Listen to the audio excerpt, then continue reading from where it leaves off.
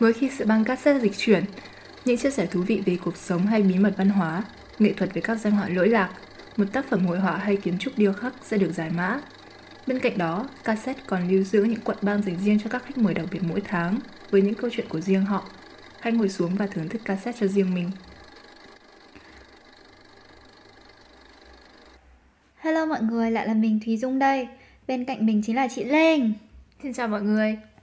Như mọi người đã biết hoặc nếu chưa biết thì K Concept, chủ quản của Cassette còn có một account Instagram chuyên về nghệ thuật mang tên K Archive. Và trong tuần vừa rồi bọn mình đã có một cuộc bình chọn Nam Vương nho nhỏ trên K Archive. Cuộc bình chọn bao gồm 3 gương mặt điển trai trong hội họa để mang đến cho các bạn số podcast ngày hôm nay. Số podcast mang tên Hot Boys in Art. Uhm, vì thời gian có hạn nên là chúng mình đã cùng nhau bình chọn nội bộ để lựa ra ba ứng cử viên nặng ký. Sau đó public cả ba bức tranh lên trang social của Archive để mọi người cùng nhau bình chọn. Và ứng viên của chúng ta là ba chàng trai trong ba bức tranh The Young Gardener hay còn được gọi là The Italian Gardener, chân dung Dorian Gray và bức tranh cuối cùng bằng tiếng Pháp nên là mình sẽ nhờ chị là chị Linh đọc hộ mình. Uh, bức tranh mang tên La Belle Dame sans Merci. Chúng mình có ba hạng mục là khuôn mặt đẹp nhất, trang phục đẹp nhất và phong cách vẽ được yêu thích nhất.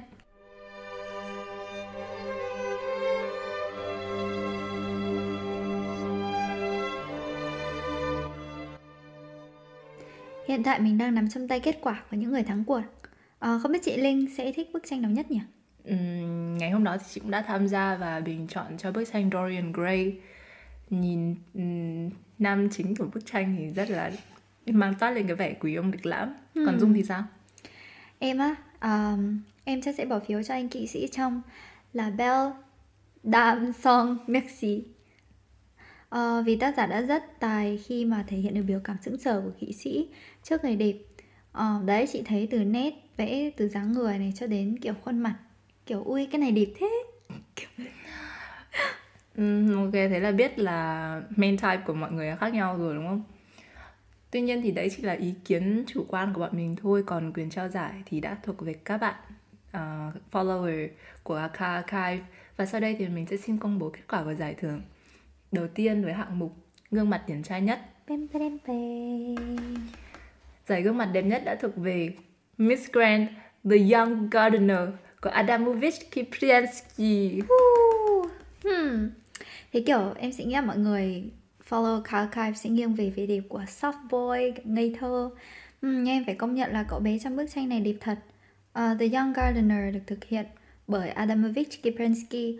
Ông là một trong những họa sĩ đầu tiên tham gia vào trường phái lãng mạn tại Nga và kỹ thuật cũng như phong cách của ông được so sánh với các họa sĩ vĩ đại như Peter Paul Rubens hay đôi khi là những tác phẩm của các họa sĩ Flemish. Uhm, trong các họa sĩ của Nga thì chị cũng rất thích Orest Adamovich Kipriansky. Ông rất chăm chỉ trong việc thực hành cũng như nghiên cứu các tác phẩm hội họa khác. Ông luôn mơ ước sáng tạo những tác phẩm có quy mô lớn dựa trên những câu chuyện lịch sử hay là thần thoại. À, vào thời bấy giờ thì người ta còn gọi ông là Van Dyck của nước Nga đấy. Ừ, thế á? Ừ. Anthony Van Dyck, thiên tài Baroque người Hà Lan hả? Ừ, ừ. đúng rồi. Um, quay lại với Kipransky thì tranh chân dung đã mang đến sự thành công cho ông.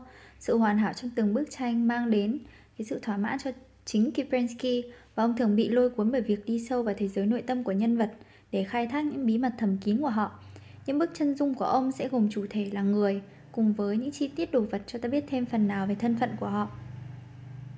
Yes, và một trong những bức tranh mang đến cho ông sự thành công chính là hoàng tử của chúng ta ngày hôm nay, The Young Gardener, hay còn gọi là The Italian Gardener, được ông thực hiện vào năm 1817 quá trình bức tranh ra đời cùng với thời gian của ông ở Ý. Và thời đó thì Ý là một đất nước xinh đẹp với khung cảnh thiên nhiên thơ mộng. Những đặc điểm này được phản ánh trong các bức tranh Ý và luôn được coi là một chủ đề nhỏ Italian genre. Ờ, oh, có một điều mình quên không nói với mọi người ngay từ đầu podcast Đó chính là mọi người có thể chiêm ngưỡng ba ứng cử viên của chúng mình trên uh, thumbnail của podcast ngày hôm nay hmm. Ok, và quay trở lại với uh, chủ đề Hot Boys in Art thì yeah, um, Kaprensky rất quan tâm đến um, nghệ thuật của Ý và ông có những nghiên cứu cẩn thận về các bức tranh của các họa sĩ Ý cũng như là áp dụng những kiến thức đó vào chính bức họa của mình điển hình là The Young Gardener. Đây cũng là bức vẽ đầu tiên ông thử sức với phong cách mới. Kiprensky không copy hoàn toàn mà dung hòa giữa phong cách của Nga và Ý. Bức tranh là một đơn đặt hàng của phòng triển lãm Uffizi. Thực ra thì chị cũng đoán được quán quân gương mặt đẹp nhất thuộc về của bạn này rồi Nhìn rất là đáng yêu và bình yên. Adamovich đã áp dụng ở kỹ thuật sáng tác mới khá phức tạp dựa trên vòng tròn. Ánh mắt cậu bé hững hờ, thờ ơ vô định. Tay thì tì lên những bông hoa Có sự xuất hiện của những mạch nước nhỏ mang đến vẻ bình yên thanh thản. Cách ông xử lý màu sắc cũng rất là tài tình. Da của nhân vật thì trông mịn màng như một lớp sứ Khuôn mặt toát lên vẻ ngây thơ và hồn nhiên.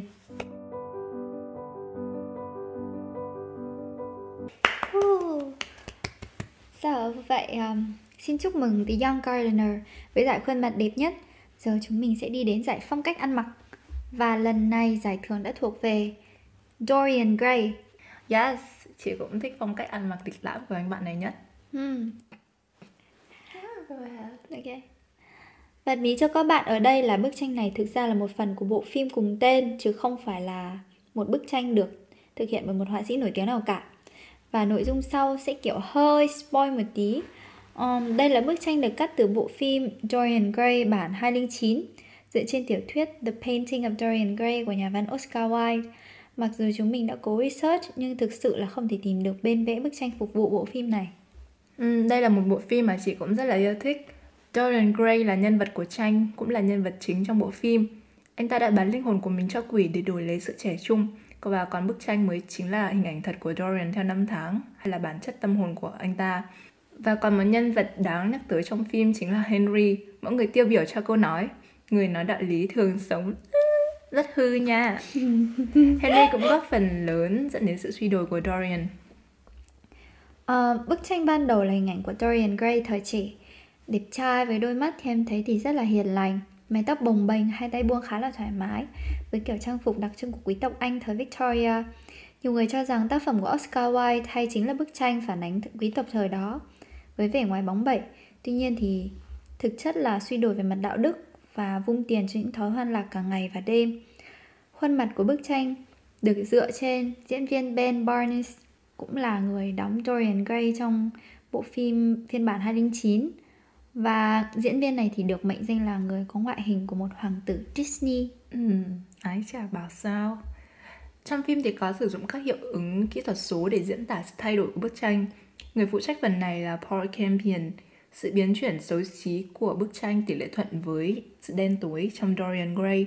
Những hiệu ứng này được dựa trên hình ảnh thối rữa của thịt và một số bệnh ngoài da. Ai biết tác giả của bức tranh này thì cho bọn mình biết với nhé. Yay, xin chúc mừng Dorian Gray với bộ trang phục được yêu thích nhất. Yes, woohoo! Hmm, nhưng tiếc ghê là em khá là thích bộ giáp của ông anh kỵ sĩ trong bức là Belle Dame Songs Merci.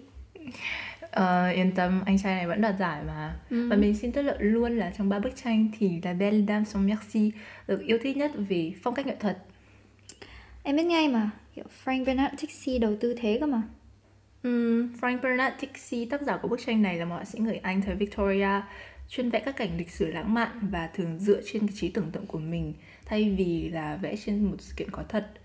Về sau này thì Dixie chuyên vẽ về chân dung với cách sử dụng màu sắc tươi sáng. Thư thoảng thì ông cũng có lấy cảm hứng từ các chất liệu văn học hiện đại. Các bức chân dung thường vẽ quý tộc đôi khi là những người phụ nữ ăn mặc rất là thời thượng. Hmm. Em thấy hầu hết các bức vẽ của Dixie rất cầu kỳ và chi tiết. Um, một ví dụ điển hình mà chúng mình có thể thấy ngay đây chính là bức La Belle Dame Sans Merci cũng không phải là ngoại lệ. Bức tranh mô tả khoảnh khắc ánh mắt chàng kỵ sĩ bắt gặp sự xinh đẹp của nàng tiên uh, và tác phẩm này được lấy cảm hứng từ bài thơ La Belle Dame Sans Merci dịch sang tiếng Việt nghĩa là người đẹp không có lòng thương xót của nhà thơ lãng mạn người Anh John Keats. Bài thơ là câu chuyện ngắn về cuộc gặp gỡ giữa chàng kỵ sĩ và nàng tiên. Nàng quyến rũ chàng, đu chàng vào lâu đài tình ái và bỏ đi lúc chàng đang say giấc. Chàng kỵ sĩ trong tranh có một đường sống mũi vô cùng tuyệt vời, làn da hồng hào và mái tóc màu hạt rẻ. So với nàng tiên thì thấy hai người cũng khá là tương xứng với nhau. Ừ, đấy, đẹp trai là thế nhưng tiếc là khi anh này vừa tỉnh dậy thì đã phát hiện mình bị đá không thương tiếc. Well, mặc dù đã được bảo hộ bởi bộ áo giáp sắt, nhưng nhìn dường như thì chàng đã không lường trước được sự quyến rũ từ nàng tiên. Từ dáng đứng cho đến biểu cảm đều rất sửng sốt bởi vì nàng quá xinh đẹp. Nhìn vào bức tranh thì ta có thể thấy được tài năng của Dixie, Ông chăm chút đến từng chi tiết, gợi lên được sự mềm mại của vải vóc hay chất liệu kim loại của bộ giáp. Bao quanh nhân vật là khung cảnh rất nên thơ, và để hiểu thêm được sự thơ mộng của bức tranh thì mình sẽ xin phép đọc một đoạn của bài thơ là Belle Dame sans Merci được dịch bởi Nguyễn Hoàng Ánh. Ta đã gặp trên cánh đồng người con gái, nàng xinh đẹp tựa như một cô tiên, mái tóc dài, gót chân nàng tươi giói và lẳng lơ hoang dạ ánh mắt nhìn. Ta kết vòng hoa cho nàng đội lên đầu, vòng đeo tay tỏa hương thơm ngào ngạt. Nàng nhìn ta với ánh mắt u sầu và ta nghe tiếng thở dài dịu ngọt. Ta bế nàng lên yên ngựa của mình, suốt cả ngày với nàng trong yên lặng. Nàng cất lên những bài hát của tiên, đôi mắt nàng nhìn về nơi xa vắng. Nàng trao ta cội nguồn hương dịu mát và những gì mật ngọt tháng ngày xanh, rồi thốt lên những lời kỳ quặc. Em yêu anh chân thành. Nói yêu mình mà lại bỏ mình, thế là ghét mình rồi. Khiếp.